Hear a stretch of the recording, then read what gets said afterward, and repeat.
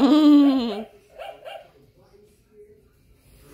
job, Nick. You're a good dog owner. You take good care of him, right?